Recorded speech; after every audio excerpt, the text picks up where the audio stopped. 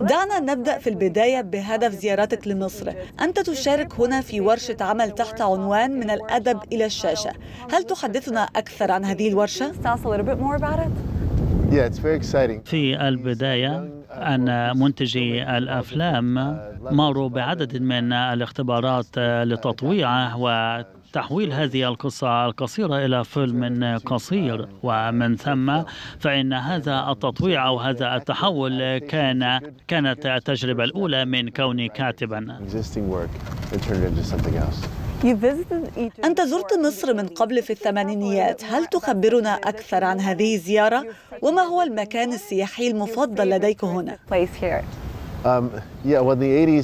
كنت أعيش في إيطاليا في ذلك الوقت عندما كنت أؤلف رواية ابتذال التي تحدثت عنها وزرت عدد من الدول الإفريقية ومن ثم هبطت طائرتي في القاهرة وجلست ومكثت في إحدى الشوارع بالقرب من ميدان طلعت حرب وكانت وكنت على مقربة من الأهرامات وكذلك كنت أستقل القطار. كانت هذه من أفضل اللحظات التي عشتها في حياتي وبعد ذلك زرت جزيرة فيلا واستمتعت بمشاهدة الأشخاص لا سيما النوبيين. وكما تعلمون فإن النوبيين والأمريكيين من أصول أفارقة هم متشابهون.